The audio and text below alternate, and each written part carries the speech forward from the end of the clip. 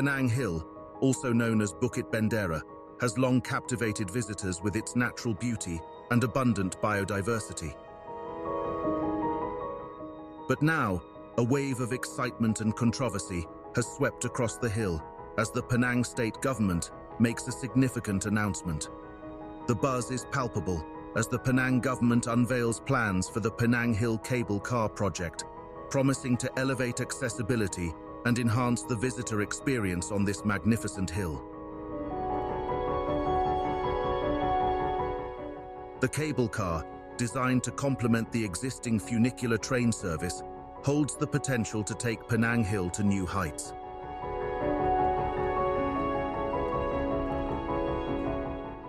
The announcement has ignited a mix of anticipation and controversy among the community. Residents, tourists and civil society groups are all eager to voice their opinions.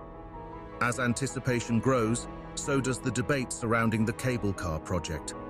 Before we embark on the details of the ambitious Penang Hill cable car project, let's immerse ourselves in the enchanting beauty of Penang Hill itself.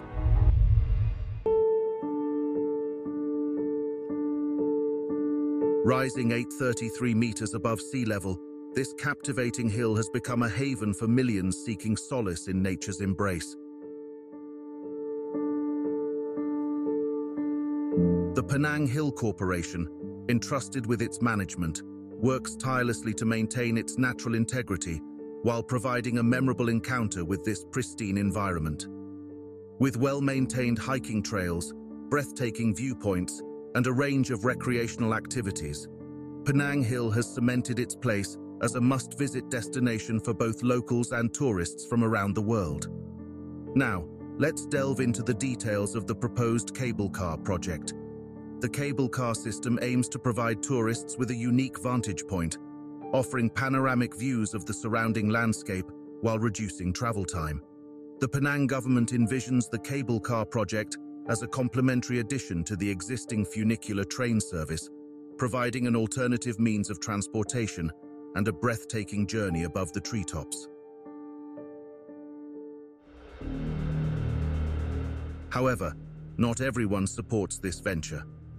Critics argue that the cable car project could pose potential risks to the delicate ecosystem that thrives on Penang Hill. The technical aspects of the project including the alignment and placement of pylons along the hillside, carry significant weight. After all, Penang Hill is not merely a tourist attraction, it serves as the island's very own green lungs.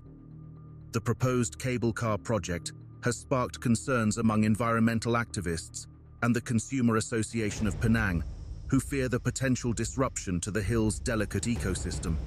The association warns that a surge in the number of tourists and residents will result in a substantial rise in resource consumption and an increase in waste production.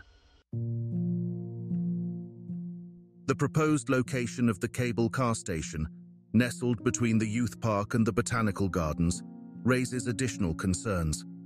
These open parks are cherished by thousands, children, adults and seniors, who frequent them for exercise and to revel in the peacefulness of their lush surroundings. The consequences include atmospheric and noise pollution, which will reach unacceptable levels, tarnishing the serene experience of those who visit the park and gardens.